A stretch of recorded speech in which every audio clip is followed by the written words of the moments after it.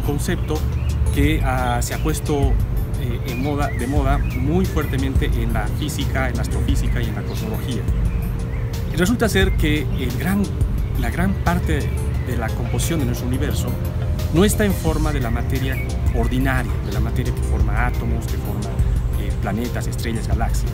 El censo que hay actualmente en base a las observaciones de la composición del universo es bastante asombroso. Solo 5% es la materia ordinaria. 25% está en forma de lo que llamamos la materia oscura, materia que produce gravedad, pero que es materia al final de cuentas. No obstante, no brilla, no interactúa con la radiación y por eso no forma estrellas ni galaxias. Y el restante 70%, ¿qué será?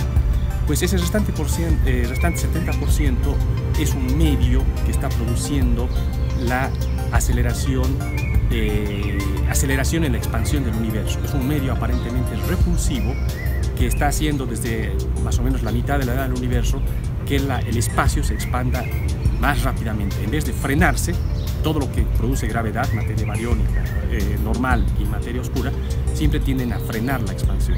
No obstante, este medio está acelerando, está haciendo que el universo se expanda cada vez más rápido.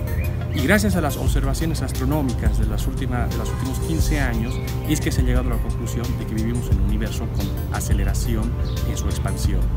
Entonces a ese medio repulsivo o a lo que sea que está produciendo la aceleración en la expansión del universo, se le ha llamado la energía oscura. Y es el 70% de lo que hay en el universo actual, es lo que más hay.